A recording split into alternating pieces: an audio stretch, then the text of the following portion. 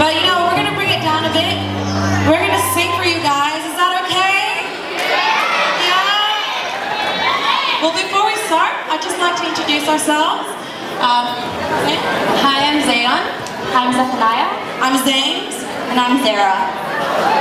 And this is Marvin. Marvin. our brother. And together we're called the Z Sisters Zakiya. So we're going to be singing two songs for you tonight. The first song is called If You Love Me by Brownstone, a 90s song, so I hope you like it.